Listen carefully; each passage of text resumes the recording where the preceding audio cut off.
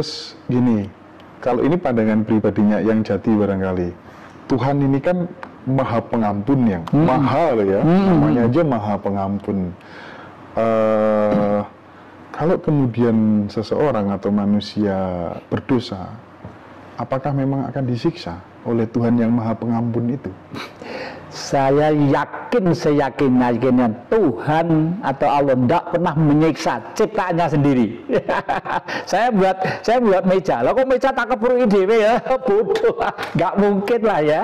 Jadi yang tersiksa itu ya umatnya sendiri yang duwei panca indera, duwei telinga. Kalau di dalam Al-Qur'an tuh alif lam mim. Penglihatanmu kebijaksanaanku, pendengaranmu adalah simponiku ya ta?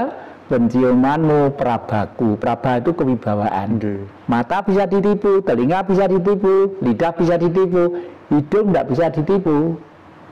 Misalnya kita kumpul-kumpul wah mesti tas mangan sebuan inget tuh tiap bulan sebuan nah.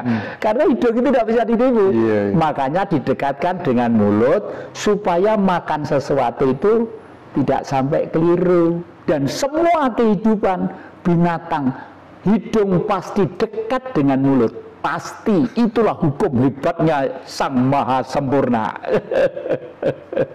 Nggih, nggih, Eh, kemudian begini, ini kan lagi rame-ramenya orang berbicara tentang salah satu bukunya yang jati tentang jagat merenovasi diri. Mm-mm. Sekarang lagi populer-populernya menjadi bahan diskus di mana-mana, khususnya di kalangan spiritual nih, Mm-mm. yang namanya garu lewat itu tadi kan, Mm-mm, mm-mm. atau kemudian apa itu namanya eh persoalan musibah bencana ya kan nah ini supaya orang bisa lolos daripada pembersihan besar-besaran jagat ini Mm-mm. apa ada laku prihatin khusus yang disarankan yang jati mungkin Ya, ada tapi sangat sederhana banget Iya, ya, ya? Di buku itu memang saya tulis nanti manusia seluruh dunia itu hanya akan disisakan 27,3 persen seluruh dunia. Ya karena semua sudah kadung salah dari menungso tadi itu ya. Kenapa harus disisakan? Karena bumi itu bagaimanapun harus dihuni oleh manusia. Oleh karena itu hanya manusia yang terpilih yang menjadi sisa untuk selanjutnya berdinamika, berdialektika di zaman yang akan datang. Nah, salah satunya cara adalah kalau mencari ilmu pengetahuan, ya carilah ilmu pengetahuan yang betul-betul bisa bermanfaat, yang bisa dibuktikan. Misalnya tentang surga. Iya. Besok kalau surga di sana kalau mati, kalau kelakuannya baik akan dijemput matahari yang cantik-cantik ya dan sebagainya. Ya boleh-boleh saja untuk iming-iming ya. Tapi kalau menurut kitab sebenarnya di surga itu di sana di bawahnya mengalir sungai yang bersih, jernih dan gemericik dan di bawahnya mengalir eh dan di sana ada tanaman antara lain jahe dan merica. Jadi surga itu adalah pada waktu hidup, pada waktu hidup ini. Kalau mati konsekuensi logis pada waktu otak memanage hidup. Iya. Ya, tinggal bener kalau keliru bukan salah loh ya. Bener kalau keliru banyak mana kalau banyak kelirunya ya begini. Sukma akhirnya si tebel, bungkus roh suci tebel. Dan itu ribuan tahun mungkin lebih tersiksa pada waktu di bumi. Itu. Eh, Jadi seperti itu. Jadi hmm, apa? Hmm, Nah kebetulan saya itu di samping rajin baca buku-buku, saya itu pernah pengalaman mati dua kali ya, tiga hari tiga hari. Dari sanalah saya baru seyakin seyakin yakinnya bahwa besok di dalam alam kematian itu tidak seperti diceritakan pada waktu hidup ini, ya kan? karena konsekuensi logisnya itu dibawa oleh otak pada waktu berbentuk sukma. Mm-mm. Oke. Iya. Eh, di Quran sendiri kan juga dikatakan bahwa sesungguhnya nanti manusia itu akan dibangkitkan ya di bumi ini. Iya. Jadi surga nggak masuk akal kalau di langit. Langit itu tidak ada apa-apa, tidak ada apa-apa. Aduh. Ya cuman sudah menjadi doktrin gimana ya yang Iya. Ya itu teori ribuan tahun yang lalu masih ngotot disampaikan di zaman milenium. Jadi ya betul, betul. repotnya seperti itu ya. Oke, rame-rame orang pada bicara tentang Ratu Adil, bicara tentang Satrio Piningit hingga harta karun Bung Karno. Menurut pandangan subjektivitas saya justru spiritual ketika diarahkan ke sana membuat bangsa kita menjadi pemalas dan penghayal. Tidak seperti layaknya di Cina, di negara-negara maju yang lainnya menggunakan spiritual, kekuatan leluhurnya aksi nyata, konkret yang bermanfaat untuk dunia. Mereka lahirlah penemu-penemu, peneliti-peneliti hebat. Apa tanggapan yang terkait hal itu? Ratu Adil, Ratu itu bumi, Adil jelas ya. Adil itu adalah keseimbangan, keselarasan, keserasian. Jadi pada waktu bumi itu sudah dalam titik tertentu membutuhkan keselarasan, keserasian yang akan dibawakan oleh seseorang. Bahasa saya seseorang. Gak mungkin inisiatif itu berangkat tadi dua kali. Ya, dari dua orang bersama-sama. Tahu-tahu saya ingin membuat kamera orang dua bareng-bareng. Nggak mungkin mesti dari seseorang. Buh nalika mandi di sungai atau di kolam loh gambar saya kok ada? Kalau begitu kalau saya membuat kaca untuk menangkap gambar orang bisa kali ya gitu ya. Baru dikembangkan yang lain-lainnya gitu ya. Jadi eh, apa? Oleh karena itu adil itu adalah suasana dan setiap kurun waktu tertentu. Itu kenapa? Jam itu kok mesti angka 12 yang membuat jam itu juga nabi menurut saya ya toh? Seluruh dunia loh. Betul. jam itu sampai 12 nah, 13 itu dari rekayasa baru ya. Jam satu siang. Tapi 12 di mana pun. Artinya orang yang membuat itu sinarnya adalah petunjuk dari sang maha gaib untuk supaya hidup tertata dan rapi. Nah hari ada tujuh. Tujuh bulan wong Jawa mengenal yang namanya pitonan. Tujuh tahun windu. 70 tahun rata-rata umurnya orang. 700 tahun mau tidak mau zaman harus ganti. Nah pada waktu zaman harus ganti dan semua manusia masih dalam kegelapan pemikiran itulah berkayal mendambakan suatu sosok yang namanya Ratu Adil dan Satrio Piningit kalau dulu zaman Satrio dulu Satrio Piningitnya mungkin Tuhan Yesus Satrio Piningit eh, Bung Karno. Bung Karno Satrio Piningit eh, Brahmana Abraham Satrio Piningit mungkin seperti itu ya Iya, iya, Ya. iya, iya. Jadi sebenarnya itu bisa trio pinning itu bisa ke semua orang yang kemudian apa tuh namanya dipilih Tuhan. Bisa ke semua orang itu, bisa bisa ya. bisa bisa. Tidak hanya satu orang gitu tidak ya hanya satu orang. Jadi nah, untuk sebagai masternya mesti satu orang. Oh masih satu orang. Tapi kepada siapa saja bisa. Oh iya iya, ya iya, kepada adik-adik juru kamera, Iya, paham, juru lighting paham, ini paham, paham. mungkin bisa saja Oke, ya. dah. Jadi memang dalam kondisi zaman tertentu dipilihlah satu orang terbaik barangkali. Lah, gitu ya. itu sudah hukum sejak ribuan bahkan jutaan Oke, tahun yang oke, lalu oke, ya. oke.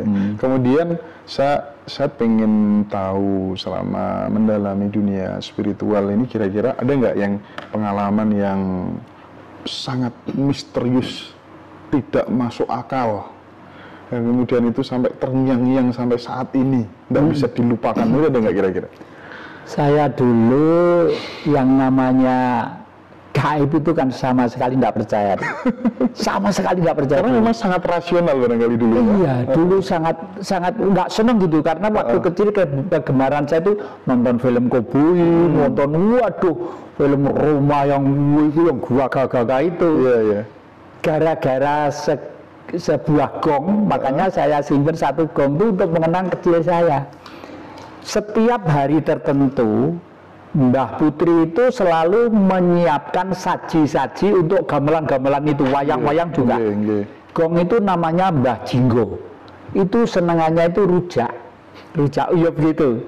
Lalu Mbah Grono itu buto raksasa gede itu, Kombo Karno itu, Iya. itu senengannya dawet. Nah, suatu saat Mbah Jinggo itu dikasih rujak. Lah saya anak kecil umur 3 4 tahun kan pengen nah. Heeh. Saya minta pada Mbah Putri, Mbah Putri minta rujak. Saya dicototin gini, dicototin gini. Enggak boleh itu untuk Mbah juga tuh batin saya. Besi besi gini minta rujak dikasih masa cucu nggak dikasih. Jam 10 siang saya tidur di bawah kong, kaki saya tak tumpang nih kong gitu. Ayo, nesu nesu, ada batin wesi mau saya iso nesu keluar harimau deh kau gede harimau makanya rumah saya di sini di depan ada gambar harimau tuh kelihatan mata doir? Oh, iya siang jam 10 itu keluar harimau waduh ngejar-ngejar saya. Saya lari-lari terus lari ke tempat tidur Mbah Putri di Sanan Wetan Blitar sana. Uh. terkecing-kecing di situ tuh wah nggak ada macan ada macan. Nah, gitu. Baru sadar uh. bahwa hidup manusia itu seyogianya berdampingan dengan gaib-gaib itu. Iya, iya. Karena gaib itu diadakan sebelum kita ada. Betul, betul. Dan sekarang saya semakin sadar sebelum manusia tercipta, bumi tercipta, gaib disiapkan dulu. Kalau di dalam kitab suci namanya malaikat, hmm. ada malaikat, ada maha malaikat. Nah, maha malaikat itulah yang mempunyai kewajiban kontinu ya untuk menjaga ekosistem misalnya Ibu Ratu Mas Laut Selatan. Hmm. Seluruh tokoh-tokoh besar di Pulau Jawa selalu uh, terikat dengan sana. Artinya tidak takluk dengan sana, tidak selalu sadar bahwa itu adalah power yang tinggi, hmm. yaitu baik kerajaan Mataram kuno ya, mulai dari yang Sultan Agung, dari Jogja, dari Solo itu pasti membuat yang namanya Songgo Buwono. Hmm. Dari situlah beliau itu selalu uh, apa, berkomunikasi secara batin dan beliau pun juga bisa memenuhi yang dikehendaki dan saya punya bukti. Saya punya bukti bahwa tahun 2008 di pantai selatan saya membakar di tiga dupa untuk mohon kepada sang pencipta mudah-mudahan berkenan Ibu Ratu Mas Laut Selatan memberi memberi tahu kepada kami kepada saya kami berdua dengan adik saya hmm. itu untuk berupa foto aja saya foto pada waktu itu belum musim HP masih iya. kamera gini ya celak gitu hasilnya bersayap kayak emas, emas gitu, gitu ya. keluar dari laut gitu. Yang dipajang di Puri ya? Ya saya pajang di Puri sana itu. Hmm. jadi karena apa? Nah itulah hebatnya orang Jawa. Tahun 65 sebenarnya armada 7 Amerika hmm. itu sudah berada 7 kilo dari Cilacap. Rencananya kalau Bung Karno itu akan memerintahkan kepada pengikutnya siapa yang berpihak kepada saya di belakang saya yang tidak senang kepada saya berhadapan dengan saya. Oleh Barat dibagi senjata dua-duanya A lawan B. Hmm. Kalau sudah tembak-tembakan baru mereka mendarat. Di pantai selatan ini saya menyimpan dokumennya yang dikirim uh, saya punya murid di Amerika namanya Dr. Baker sama Yudit ya dulu belajar tentang Jawa di sini dikirim fotonya bahwa di pantai selatan itu ada seorang putri berjalan pakai baju hijau klip-klip cantik begitu tahun 65 sehingga kapal itu nggak jadi mendaratkan itu nggak jadi lalu mundur lagi oh. nah coba bayangkan mulai Aceh sampai Irian Barat itu kalau di Eropa itu 13 negeri di, iya. di sini satu negara. Uh -uh. Kalau untuk menjaga negara yang kaya ini butuh berapa angkatan laut berapa ribu berapa triliun dolar untuk membiayai itu? Cukup ibu ratu mas selatan aja. Wong jawa ngebrong dupo teluru bangsa ini yang buri gunung tentara tok. Iya iya. Oke sebuah pemikiran yang sangat luar biasa dari yang Jati Kusumo nanti ini menjadi dokumentasi yang akan dilihat oleh anak cucu kita. Ya yang okay. yang sekarang gini apa sih sebenarnya yang menjadi sumber penderitaan manusia itu yang yang menjadi sumber penderitaan manusia secara umum adalah sistem. Sistem. Ya, selama sistem itu masih tidak dirubah secara frontal mm -hmm. dengan istilah revolusi tidak akan selesai. Perubahan itu harus secara komprehensif dan holistik ya. Iya, betul, ya. Karena apa? Karena sejak tahun 65 sampai sekarang masih banyak orang yang punya kepentingan keuntungan untuk memanfaatkan kekayaan negeri ini. Heeh. Padahal satu pulau di negeri ini untuk hidup makan satu bulan bangsa Indonesia itu cukup satu satu bulan. Ke- ke- diambil satu hari Iya, lah iya, iya, iya. untuk satu bulan bangsa Indonesia cukup. Tapi sampai sekarang masih seperti ini. Oke. Dan ini harus kembali ke era nanti Majapahit. Karena di Majapahit itu diatur sedemikian rupa yang disebut Wilwatikta, wilayah kota dan ramba. Ya. Nanti ditata jumlah penduduknya sekian ya. Tiap kelompok itu misalnya 60 juta.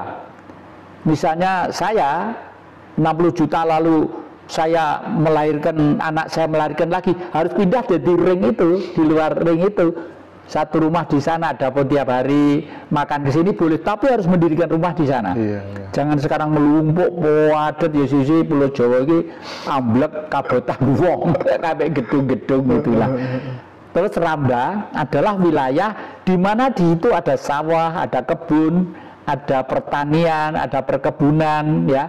Hidup dari situ. Dan sistem gotong royong misalnya di Singosari hasilnya langsep di Tumpang hasilnya padi. Iya. sekali tempo kita barter di situ Oh, ya. gitu yang ya. kebetulan kemarin itu Bung Karno itu memang hebat. Kemarin itu saya nemu koin di tahun 1947 jadi Bank Blitar gitu.